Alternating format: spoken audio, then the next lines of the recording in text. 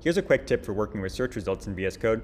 When you perform a search that returns many results, such as this one here, VS Code will normally try to show all of the matches. You can use the toggle expand collapse icon up here to make VS Code instead collapse the results down so it's just showing a flat file list that you can then expand manually.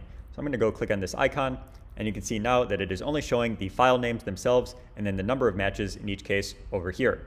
If I want to go and interact with one of these files and see the matches in it, I can just hit that little uh, chevron over here to expand that file entry or collapse it back down so I can just move through the list like this.